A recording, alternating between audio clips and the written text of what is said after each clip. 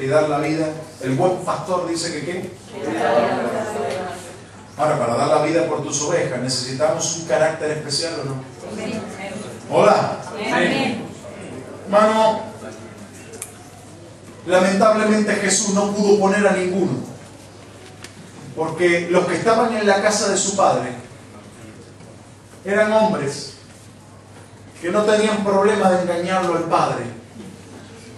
Que no tenían problema de decirle al padre, una fiera del campo mató a tu hermano, y ellos sabiendo que lo habían vendido. José sabía que entre sus hermanos no había hombres capaces para manejar eso. Usted me dirá a mí, profeta, ahora esto es algo personal. Algo que yo entendí. No, no lo tome como de la Biblia. El pueblo de Israel acabó siendo esclavo.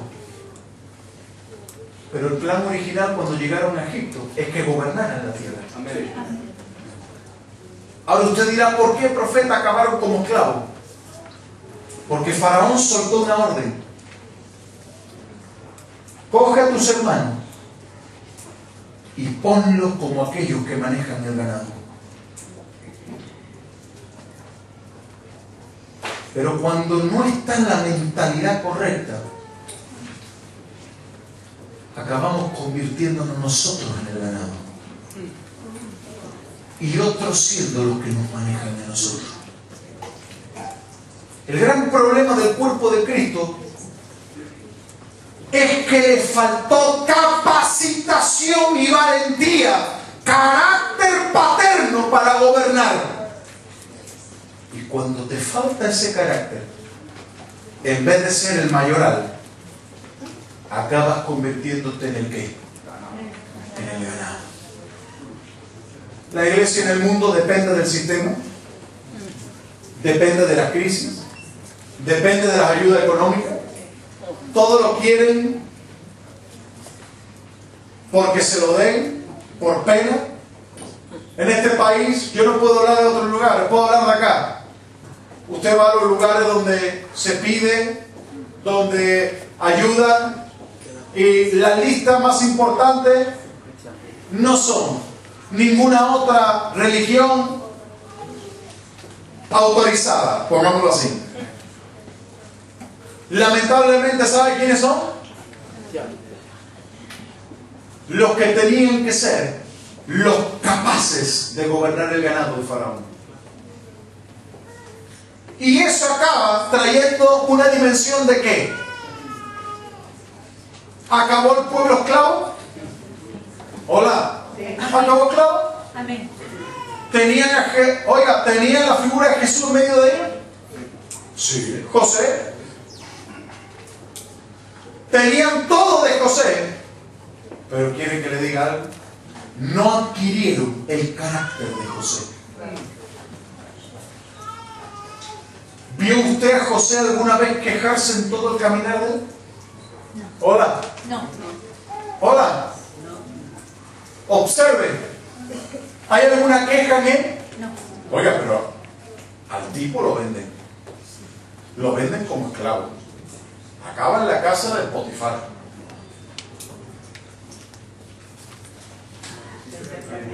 La Potífera casi se lo come. Acaba preso, metido en la cárcel, sirviendo a los otros. En todo el camino, en algún momento José se preguntaría, ¿pero dónde estoy metido yo? Pero acabó gobernando. Y uno dice, ¿por qué, profeta? El hombre tenía el carácter correcto. Le había adquirido el carácter aguerrido. José no se echaba para atrás de cualquier manera. Cualquiera en medio de esa situación hubiese dicho, Dios, Potífera, ¿quién está conmigo? Aleluya. ¿Sí o no? Total, ella es mi dueña, ¿sí o no? El, el- el marido me ha comprado. ¿Sí o no? Ya está, me quedo acá. Total, mientras la haga feliz a ella, pan tengo todos los días, ¿sí o no? Cuando fue metido en la cárcel podría haber dicho, yo ponerme a servir acá, anda ya, ponme los grilletes y muero lo que muero, ¿sí o no? Sin embargo, el hombre en medio de la cárcel no tiene bastante había sido despojado de todo, estaba preso y el hombre se pone a servir y haya gracia delante del jefe de los carceleros. Había un carácter en él, un carácter de valentía y de fortaleza que no importaba la situación en la que él estuviera viviendo, el carácter de él lo mantenía posicionado en Dios.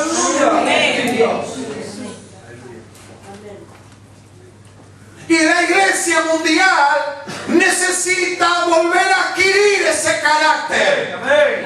El carácter de la visión es un carácter extremadamente esforzado y valiente. Que no permite que las circunstancias nos arruguen. Que cuando más nos presionan, más nos levantamos. Que cuanta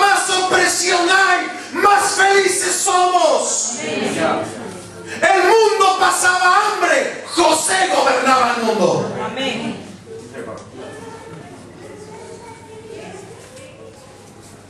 Los hermanos se presentan ante José de rodillas, pidiendo por favor comprar alimento. No podían reconocer que el que estaba delante de ellos era aquel que ellos vendieron un día. Porque ellos no veían ya al hombre, veían el carácter formado, maduro. Cuando lo veían a José, no estaban viendo a cualquiera, estaban viendo al Señor de la tierra. Y eso no lo da título, eso no lo da collar de oro, eso lo da un carácter especial. El hombre se enfrenta a los hermanos cualquiera que no hubiese tenido ese carácter, los hubiese mandado a colgar, hermano, en venganza de lo que le hicieron y lo que le hicieron sufrir. El hombre les podría haber echado en cara. Usted mire todos los relatos, ni una vez José les echa en cara nada.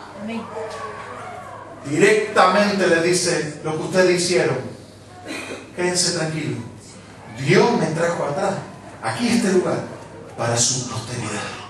Mire qué, mire qué carácter. Ser valiente no es ser una persona agresiva. Ser esforzado no es ser maleducado con los hermanos. Ser valiente y esforzado no es maltratar a los demás.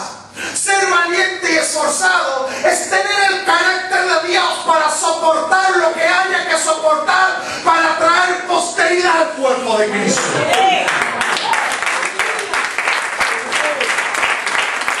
Aleluya. Yo sé tema que usted conoce muy bien. Pero déjeme, déjeme meterme en esto tan hermoso. Y ya terminamos. Dice la palabra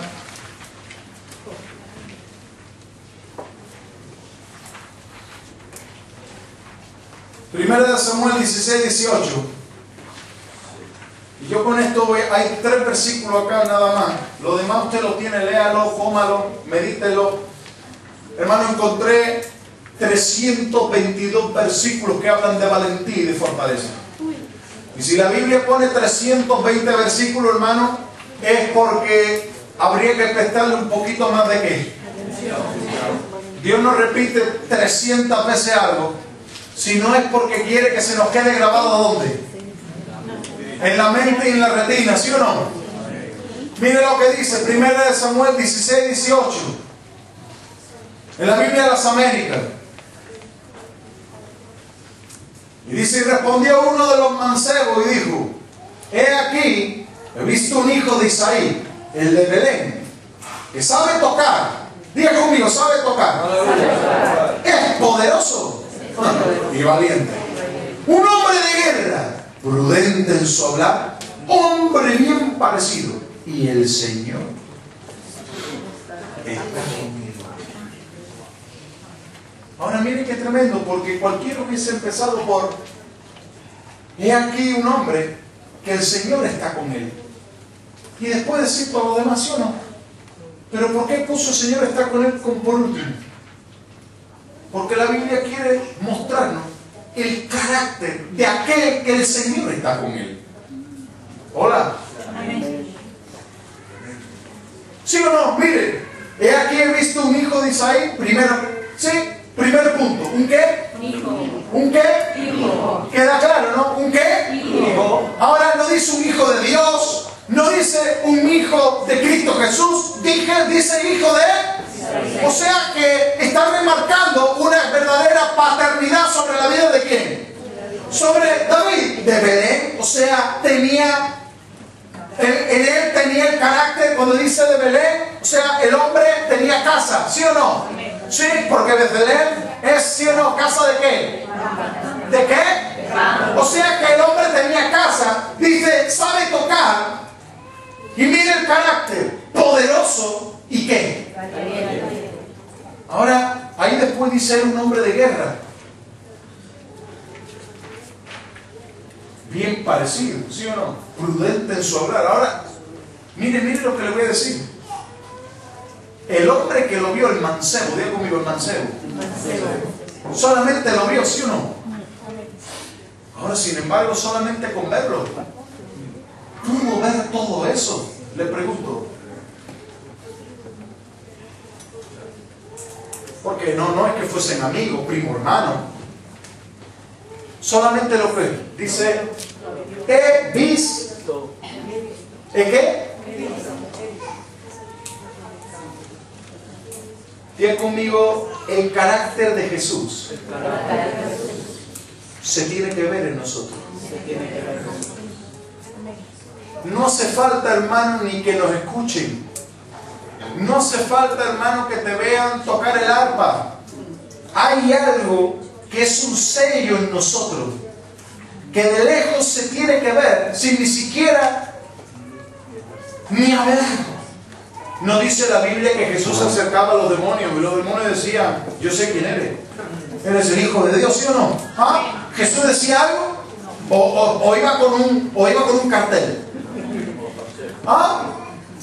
¿No, ¿No lo reconocían a él? Si ni siquiera él hacer absolutamente. Había, oiga, podían ver algo en él. ¿Lo veían en, en David? ¿Lo vieron en él? He visto, ahora mire, eso es tremendo, como si yo le digo, oiga, he visto un hermano, sí, que es un tremendo guerrero, un tremendo hombre de Dios, toca el arpa de maravilla, es prudente, es sabio, es un hombre valiente y esforzado, es un hombre de guerra, pero ¿qué guerra? ¿Qué me estás contando? Ah, está el Señor con él. Ni que Jesús, ni, ni que David le hubiese dado un currículum vitae. Había algo que lo mostraba, ¿no? Hermano, solamente hay que ver un hombre en el espíritu para saber de qué tronco sale su vida. Ahora cuando ellos lo vieron a David, le dijeron a Saúl, mira, este tiene todo. ¿Y sabe por qué David fue elegido? David fue elegido, por eso que pone ahí. Era un hombre prudente, esforzado y qué? ¿Ah? Poderoso y, diga conmigo, poderoso y valiente. Oiga, los hombres no son elegidos al azar.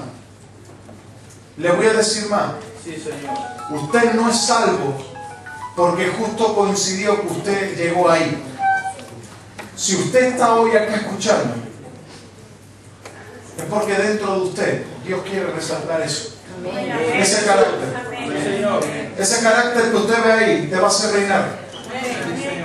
Ese carácter que tienes ahí te va a hacer ser un hombre conforme al corazón de Dios. Hermano, un hombre conforme al corazón de Dios no es un hombre que llora por todas las esquinas. Hay gente que cree que ser un hombre del corazón de Dios es ser un hombre o una mujer sensible. Sensible a lo del Espíritu, que, que pareciera que, que en todos lados ve ángeles, en todos los sitios escucha palabras, en todos los sitios siente que se le erizan los pelos. Eso no es, hermano, tener el corazón de Dios. Ser un hombre conforme al corazón de Dios es lo que está describiendo dónde. Lo que se describe acá, lo que el mancebo pudo ver. Ahora, lo que vio el mancebo, ¿era real o no era real? ¿Era un hombre poderoso David? ¿Era valiente David? ¿Era hombre de guerra? ¿Prudente en sus palabras? ¿Estaba el Señor con él? O sea que el carácter de Dios en ti no se puede ocultar, hermano. Amén. Usted y yo podemos pretender manejar el carácter. Usted y yo podemos disimular que tenemos el carácter de la visión. Pero tarde o temprano los mancebos van a hablar. El problema es que no digan lo que hay que decir. Porque el que te va a hacer la publicidad son estos. Y conmigo, los mancebos. Los mancebos. Eso hablaron de David, ¿sí o no? ¿Le hablaron a David? ¿Ah? Claro. Alguien tiene que hablar de usted, hermano. ¿Quiere que le diga algo? En esta. La gente habla. Los mancebitos, no los cebos, los mancebos. Los mancebos hablan, hermano. Hay gente que cree que su testimonio no pasa nada. A mí mientras Dios me apruebe no me importa que el mundo entero hable mal de mí. Cuidado. Porque si los mancebos hablan como hablan, por algo es. Ahora hay gente que va a hablar mal de nosotros, sí. Siempre. Pero tiene que haber un respaldo de Dios. Que hombres y mujeres que son siervos sean capaces de reconocer en ti lo que no reconocen en otro hombre. Aleluya. Hermano, la paternidad no es imposición, es reconocimiento. Amén. La paternidad no se puede imponer. Amén. Yo no puedo decir, yo soy aquí el pastor y se ha acabado, yo soy, yo esto, y acá no vale. Por años se vivió ese evangelio. El evangelio de querer yo mismo hablar mi carácter. Yo mismo ser el que declaro lo que soy. Pero Jesús dijo, si fuese mi testimonio por mí solo, no sería válido. Un padre tiene que hablar. Alguien tiene que hablar de nosotros. El carácter correcto o el carácter de la visión hará que hombres se enamoren de lo que tú portas. Hola. Amén. Y con esto termino. Dice la pastora, aleluya. Gracias por su ánimo, mamita. Segunda de Samuel 23, 8. Aleluya. Después no me pide ir predicar a la iglesia. ¿eh?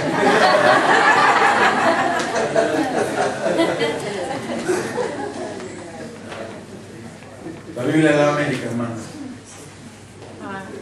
Hermano, cuando yo leí esto, a mí me tocó mucho.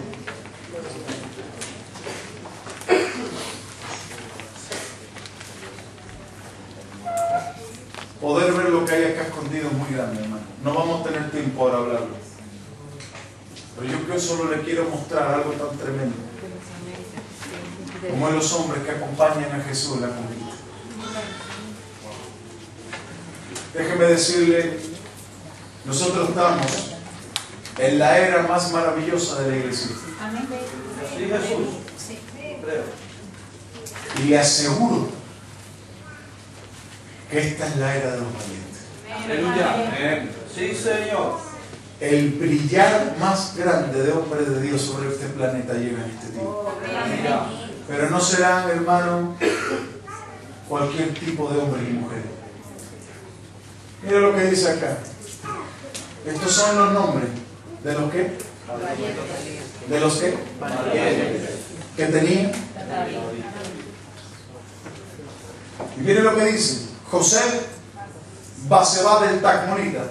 ¿Qué? Principal de los este era llamado Adino, etnita, por los 800 que mató una sola, de una o una vez. ¿sí? Dice, después de él estaba Eleazar, hijo de Dodo, ahorita, uno de los tres valientes que estaba con David cuando desafiaron los filisteos que se habían reunido allí para la batalla. Y él se había, y, y se habían retirado los hombres de Israel él se levantó e hirió a los filisteos hasta que su mano, diga conmigo, hasta que su mano se cansó y quedó pegada a la espada. El Señor concedió una gran victoria y el pueblo volvió en pos de él, pero solo para despojar a los muertos. Después de él fue Sama, hijo de Gage, Ararita, Los filisteos habían concentrado en tropa donde había un terreno lleno de lentejas, diga conmigo lentejas. Y el pueblo había huido de los filisteos. Pero él se puso en medio del terreno, lo defendió e hirió a los filisteos. Y de nuevo el Señor que, Aleluya. Señor. hermano, yo lo que le voy a hablar ahora va a ser lo último, después callo, para siempre. David, que es figura de Jesús. Usted sabe que David, en muchas facetas, él representa en muchas áreas a nuestro Señor. Pero David tenía algo. David tenía que conquistar. David no lo podía hacer solo. Necesitaba una generación de hombres que estuviera a su lado, pero no cualquier tipo de hombre. La Biblia dice que David se refugió en una cueva. ¿Sí o no? ¿Cómo se llamaba la cuevita esa? Ahora, en esa cueva, todo que iba era malo, hermano. Hola, Amén. perdone, pareciera que no me está entendiendo en esta tarde. Todo lo que iba a Dulam era qué? Los endeudados, atribulados. No malo de malos, de ser malo, hacer- no. Sino malo de que eran situaciones que. Pero en Adulam, en Adulam pasa algo. Y yo quiero hablarle de eso. En Adulam pasa algo. Adulam se entra endeudado. Aleluya. Adulam se entra deprimido. Adulam se entra derrotado. Pero de Adulam no se sale igual, hermano. Amén. Y hay cuevas que te van a transformar la vida. Amén. Amén. Hay cuevitas que cambian la vida si en ella hay un David. Amén. Pero el tema es que tiene que estar qué. Y quiere que le diga algo. En su vida y en la mía hay un David, hermano. Amén. Dios nos ha dado un Padre a nosotros en esta tierra. Y quizás tú estás en un proceso donde estás saliendo de muchas cosas, donde te ves imposibilitado en muchas áreas, pero si te atreves a entrar en Adulam. Ahora, para entrar en Adulam, Adulam no se encuentra de cualquier manera, hermano. Ver esa cueva no podía ser cualquier cosa. Yo me imagino que ver la entrada de esa cueva tenía que ser. ¿Sí o no? Se vaya a creer usted que eso era el Empire State. Las cuevas son oscuras, son frías. ¿Ah? ¿Se escuchan cosas extrañas ahí o no? ¿Caminan cosas raras? ¿Alguien ha estado en una cueva alguna vez? Me refiero de verdad, no espiritual. Yo hacía pedagogía, hermano, cuando cabía en las cuevas.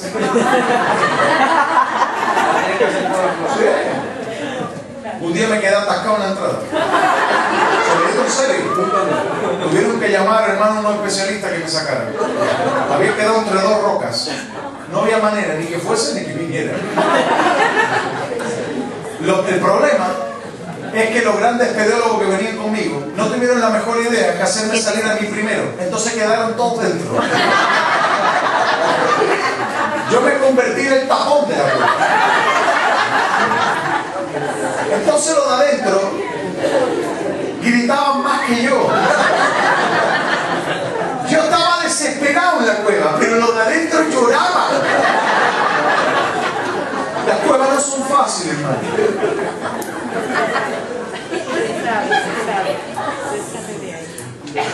A partir de ahí se acabaron las cuevas para mí. Nunca me olvidaré.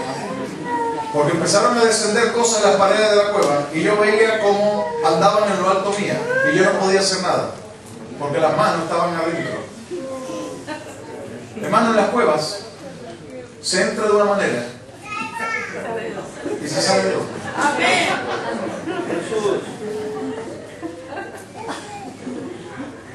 Y yo le quiero hablar de estos valientes. ¿Puedo? ¿Por un minuto más? ¿Me está hablando alguien, Señor? ¿Estamos empezando bien la nivelación? no? Estos valientes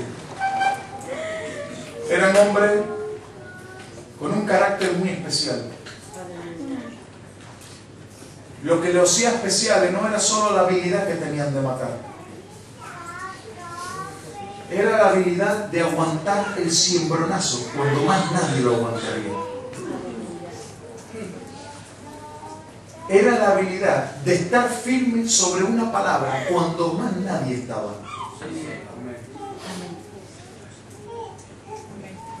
Y estos valientes fueron reconocidos en la Biblia por las proezas que hicieron. Ahora, atento a esto, no por ellos, sino por el rey que los gobernaba. Amén. Estos valientes no peleaban por su reino, peleaban por el reino de. Y usted y yo no podemos pelear por nuestro reino. Tenemos que tener el carácter de Dios para pelear por lo de Él. Dice, mire lo que dice, 2 Samuel 23, 13. Descendieron tres de los 30 jefes, fueron a David en la cueva de Adulán en el tiempo de la cosecha, mientras la tropa filistea acampaba en el valle de Refaín. Mire lo que dice. David estaba entonces en la fortaleza, mientras la munición de los filisteos estaba en Belén. David sintió, diga conmigo, sintió. Diga conmigo, sintió. Un gran deseo. Y dijo, ¿quién me diera de beber? Agua del pozo de Belén, que está junto a la puerta. Entonces los tres valientes, digan conmigo, los tres valientes, se abrieron paso por el campo de los filisteos. Y sacando agua del pozo de Belén que estaba junto a la puerta, se la llevaron y la trajeron a David. Pero no quiso beberla, sino que la derramó para el Señor. Y dijo, lejos esté de mí, oh Señor, que yo haga esto.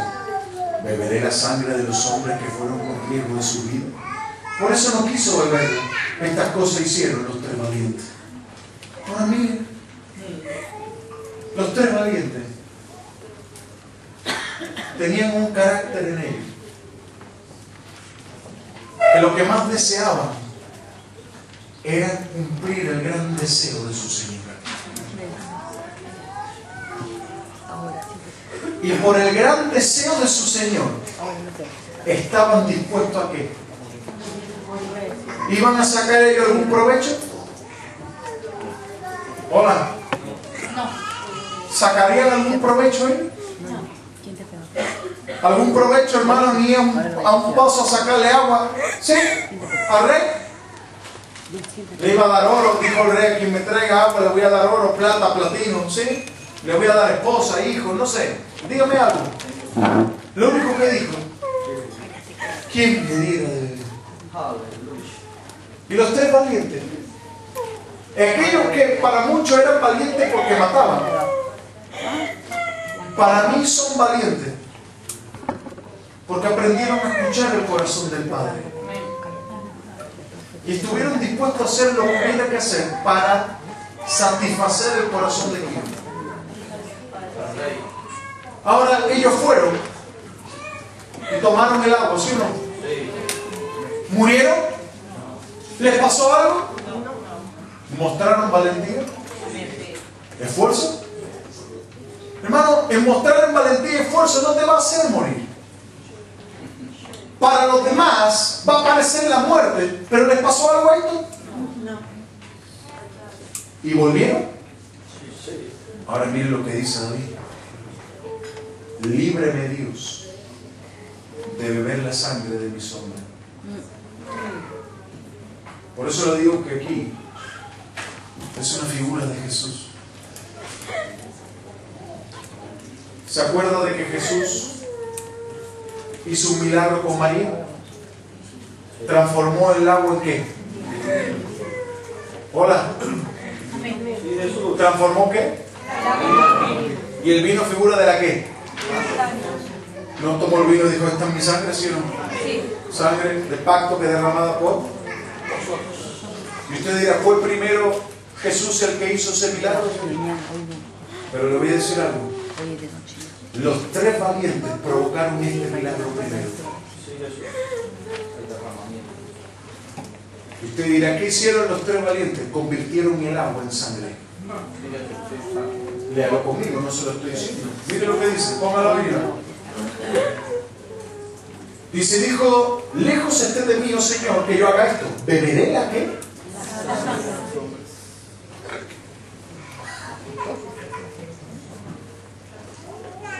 Pero no habían ido por agua. Pero cuando llegó a las manos de David, ¿qué era?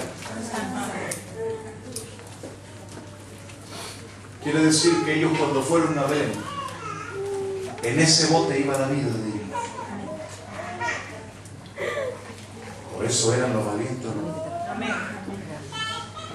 Porque hay que ser muy valiente para derramar la sangre, para cumplir el gran deseo del Señor. Dijo David, tomaré yo, beberé yo de la sangre de todos.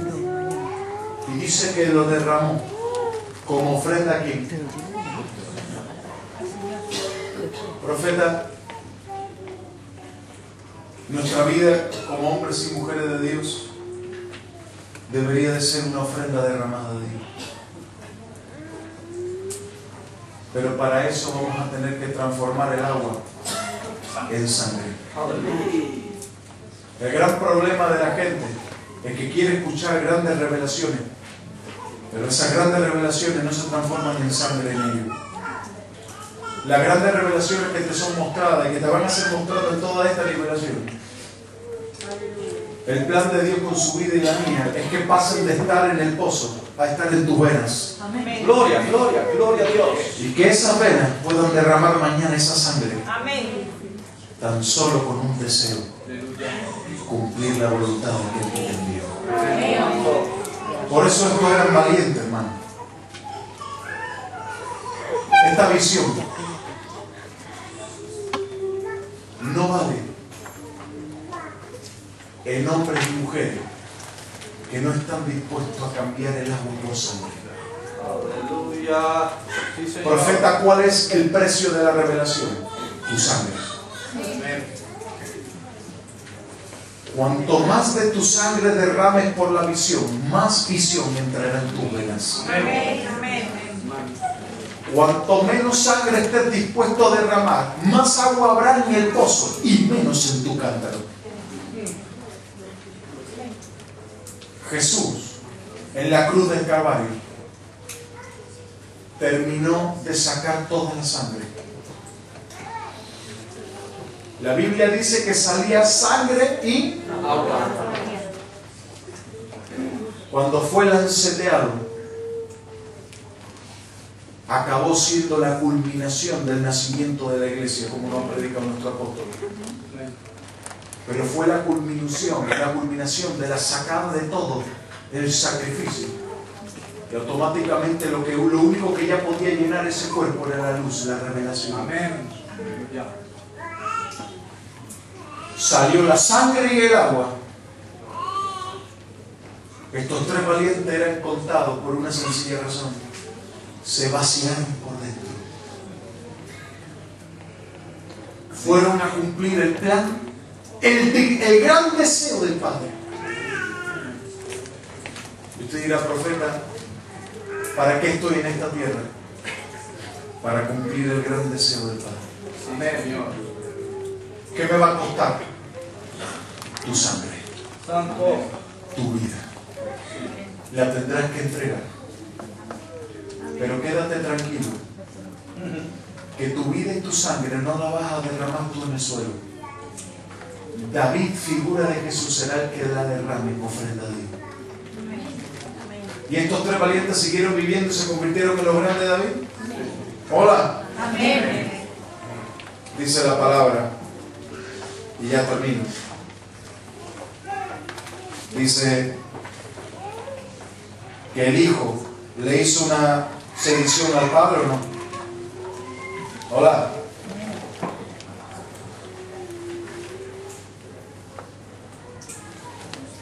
Primera de Reyes 1.8, la Biblia de América, y terminamos.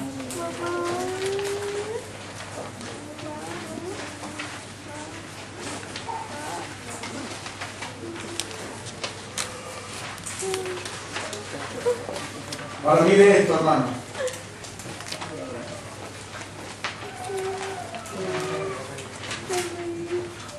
Usted sabe que Benaya, hijo de Jodaya, era aquel que era guarda personal, ¿sí o no? No era cualquier tipo de hombre. Dice que este se enfrentó a unos leones en un foso en invierno, ¿sí o no? Hay que enfrentarse a un león. ¿Usted ha visto un león alguna vez? No en la tele, porque la tele depende del plasma que tenga. ¿Pero usted ha visto un león cara a cara alguna vez? Porque un leoncito no es un gato. Le voy a decir más, no es un tigre. Tigre es grande, pero el león. El león es león. Este Benaya no tuvo otra cosa que hacer que meterse en un foso, había un león, a matarlo. Este no podía ser cualquiera el que lo cuida. Y le voy a decir más. Y entienda el corazón con el que se lo digo.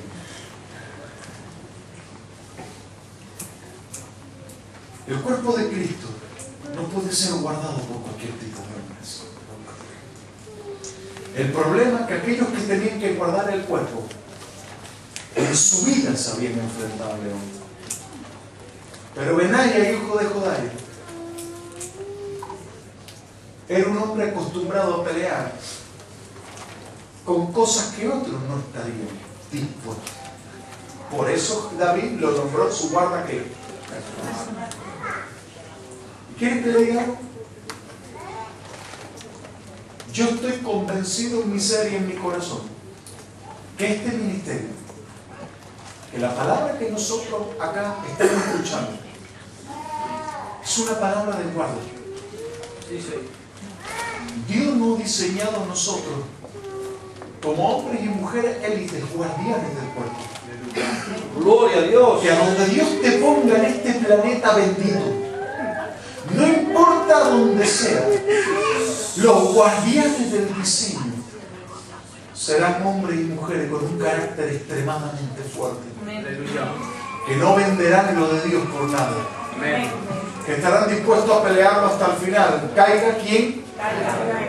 Y mire lo que dice, pero Sadoc, Benaya, hijo de Jodai, el profeta Natán, Simei, rey, y los no estaban con quién. O sea que estaban con. Usted sabe que este hijo le hizo una sedición o no. Y lo querían proclamar qué. Y usted sabe la historia de que le dijeron al padre, mira, al hijo le dijeron, mira, tu padre está huyendo, vayamos con toda la fuerza al ejército, ¿sí o no? Y donde lo pillamos, los matamos a todos, ¿sí? Y el pueblo quedará libre y tú serás rey. Y dice que vino un sacerdote y le dijo, ¿sabe qué? No me parece buena esa idea. Le dijeron, ¿por qué? Y le dice, porque todo el mundo sabe que tu padre es un hombre de guerra y muy valiente. ¿sí? ¿Lo dice eso la palabra? Y dice, y todos los que están con tu padre son hombres expertos en la batalla. Entonces esto no se trata de cuántos cientos de millones seamos. David tenía 30, pero había que enfrentarse a esos 30. Jesús tenía 12, uno le salió, pero había que enfrentarse a esos 11. ¿Trastornaron el planeta? Oye, un Pablo trastornó el planeta. ¿Hacen falta cientos de millones? Hacen falta hombres y mujeres que tengan el carácter humano. Y no estoy diciendo que no seamos millones mañana. Estoy diciendo de que la visión empieza por nosotros. Amén. De que la visión de un padre tiene que descender a ti a mí y establecer para que trastornemos lo que haya que trastornar. Pero para eso tenemos que sacar este carácter, el de los valientes Amén. y esforzados. Diga conmigo, este evangelio no vale para lo gratis. Acá o se sangra o se sangra. ¿Se entiende eso? Amén. ¿Me va comprendiendo en esta preciosa Amén. Jesús? Amén. Amén. ¿Con quién te identificas?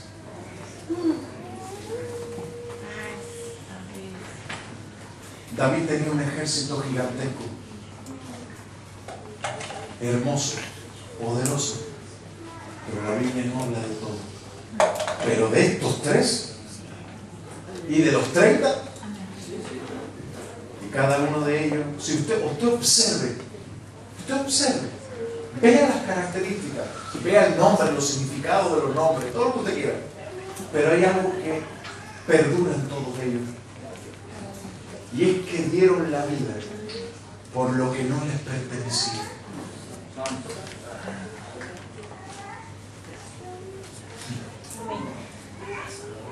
Dieron la vida por algo más grande que ellos. Y la misión apostólica exigirá de nosotros dar la vida por un plan más grande que tuyo. Que perdurará generaciones y milenios. ¿Quién le mandaba a ese ponerse a defender el campo de lenteja? Hermano, un campo de lenteja. Ni que fuese que el tío era un loco de, las, de los potajes de lenteja.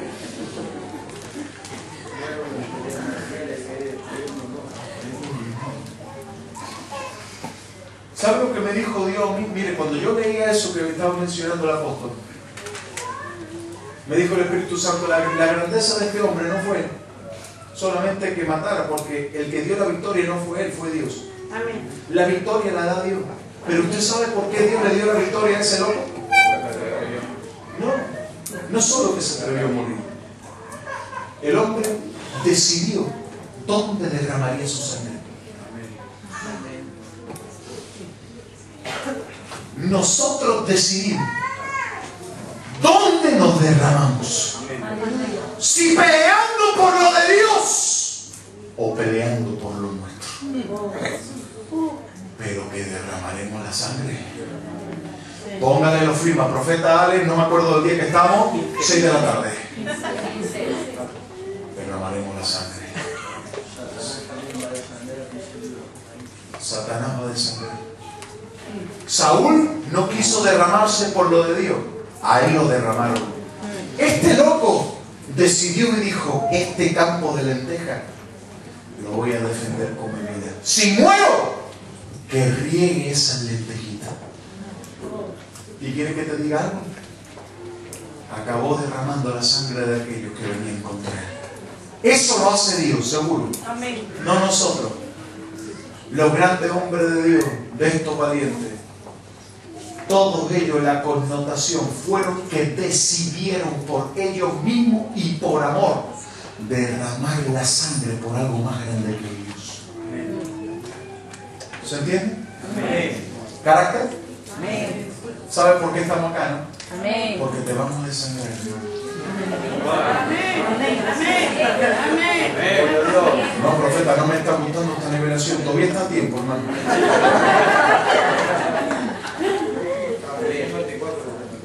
La iglesia ha sido mucho amor, muchos besos, mucho te amo, mucho me enamoro de ti, Jesús. Estamos enamorados, te amamos, te deseamos.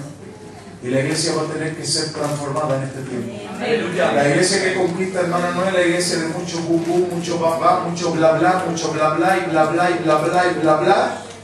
Y empieza a ser una iglesia que se planta en el campito que Dios le ha dado. Hermano, yo estoy agradecido de Dios por tener los padres que tengo. Y se lo digo con toda la cara que Dios me ha dado. Porque si hay algo bonito en ellos, es que lo que para muchos no tenía valor, para ellos sí. Y cuando otros no creían en este país y le llamaban el cementerio de los pastores, ellos dijeron, de acá saldrá la mayor generación de hombres. Amén. mujeres de Dios, que va a llegar la tierra, que va a llegar el planeta. Cuando otros dijeron, yo todavía me pregunto, hermano, ¿qué hubiese pasado si Dios no nos hubiese hecho defender este campito de lentejas? Doy gracias a Dios que mis padres se levantaron y defendieron este campito. Porque este campito va a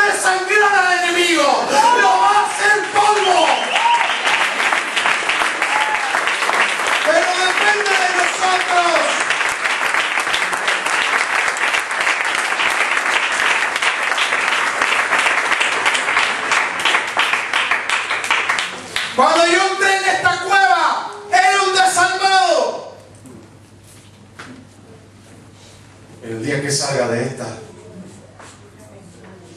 no hay león que me pare. Amén. Gloria a Dios. Hermano, hace poco tiempo viví una situación que la repetí muchos años atrás, donde parecía que se me quitaba algo de las manos que me había sido encomendado. La diferencia es que la primera vez me la quitaron y esta vez la peleamos. Aleluya. Y lo que no pudimos hacer la primera vez, ahora lo conseguimos. Y yo meditaba y decía, papá, ¿me has hecho pasar por lo mismo de nuevo? Me dijo, sí. Para hacerte ver que de esta cueva no se. Amén. La misma situación, papá. Pero resultados. Amén. Gloria a Dios. el Señor. Gloria a Dios. Profeta, ¿estamos acá para dar besos? No, usted está acá para pelear. ¿Estamos acá para darnos abracitos? No. ¿Quiere que le diga algo? Dice la Biblia, aquellos que estaban con David tenían el rostro y parecía rostro de leones. ¿Quiere que le diga algo? El planeta no necesita más muan, muan. Que en este campo no se acerca nadie que no tenga pasto. Amén. Pelea por lo de Dios, hermano. Pelea por esta visión. Enamórate. ¿Sabe lo que es estar enamorado de esta palabra? Permitir desangrarte vivo. Le pido a Dios cada día que cada día más nuestra sangre esté en el suelo y el agua de la revelación flotando en nuestro ser. Amén. Valentía y fortaleza. Amén. Amén. No se conquista de otra manera esto. Valentía y fortaleza. Amén. ¿Le habla algo el Señor está presente? Amén. Bendita sea su gloria. No se vamos a orar rápidamente.